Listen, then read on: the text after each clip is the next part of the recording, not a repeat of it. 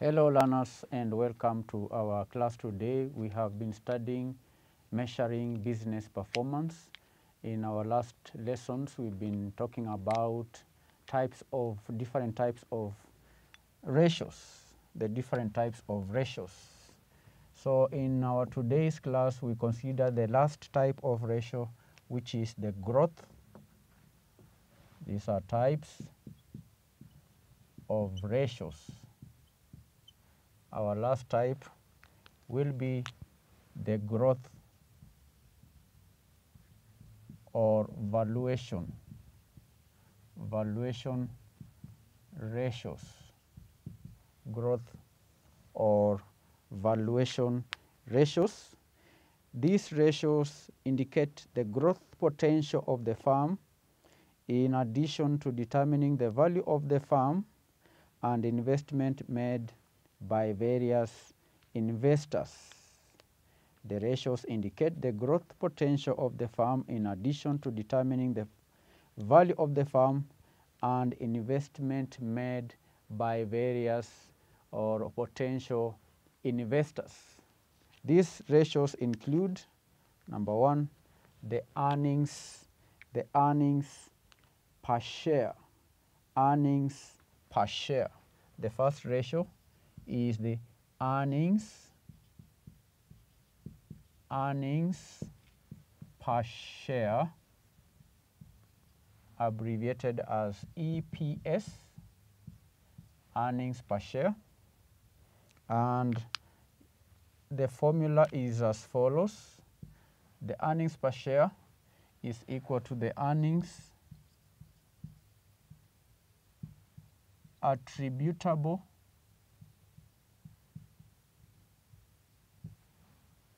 attributable to shareholders divide by the number of shares. The number of shares.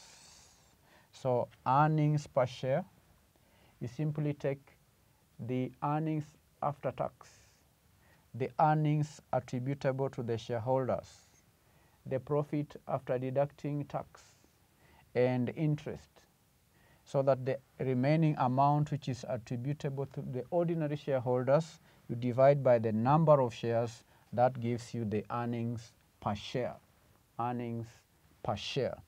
Then number two the second ratio.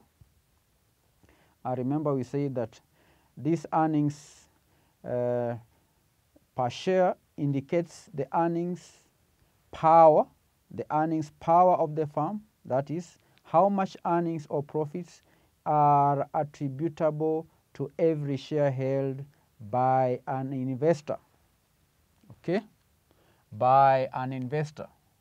So that the higher the EPS, the higher the EPS, the better. The higher the EPS, the better. Number two is the earnings yield earnings yield. The earnings yield is our second type, number B, earnings yield abbreviated as EY, earnings yield and is determined as follows. The earnings yield should be equal to the EPS EPS divide by the MPS. MPS. The MPS is the market price per share. The market price per share earnings yield is equal to the EPS divided by the MPS.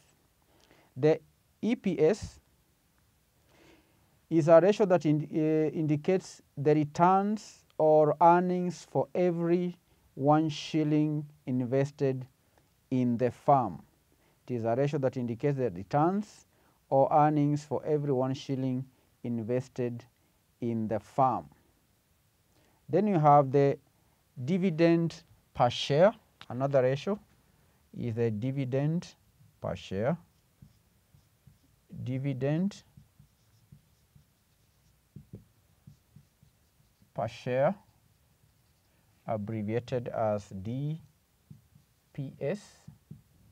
DPS and how calculate the uh, how do you calculate the DPS DPS is equal to the dividends paid dividends paid divide by the number of shares.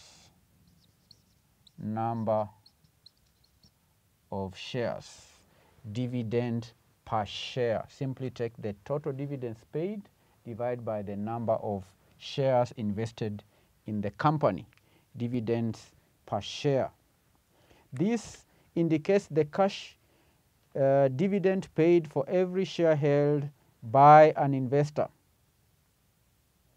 So that uh, if all the earnings attributable to ordinary shareholders were paid out as dividend, then the EPS will be equal to the DPS. Okay? So the dividend per share is equal to the total dividends paid over the number of uh, shares held. And sometimes EPS is saying here that sometimes EPS can be equal to the DPS. This can be so where all the earnings per share, I mean where all earnings are paid out as dividends. Because uh, just to illustrate this, uh, just to illustrate, to help you understand that point, this is what I mean. In the preparation of the income statement, we have the gross profit, then after deducting expenses, you'll have your earnings before tax, earnings before tax. If you remove the tax, you'll have earnings after tax, earnings after tax, earnings after tax. Right. Then assuming uh, there are no preference shareholders, you only have ordinary shareholders, these earnings after tax, depending on the dividend policy of the company uh, these earnings per tax, the managers can decide to pay part of these earnings per shares as dividends. They can decide to pay, uh, propose 20% of the earnings to pay the shareholders dividends amounting to 20% of the earnings. So that will mean that uh, you will have here um, this will be the dividend paid out, pay 20% of the earnings, that will be the dividend. Alternatively, alternatively, the managers may decide that all these earnings, they can propose that all the earnings be paid to the shareholders in form of dividends. So that's why we are saying in, in that case, then the earnings paid out will be equal to the dividends received by the shareholders. In that case, the EPS will be equal to the DPS.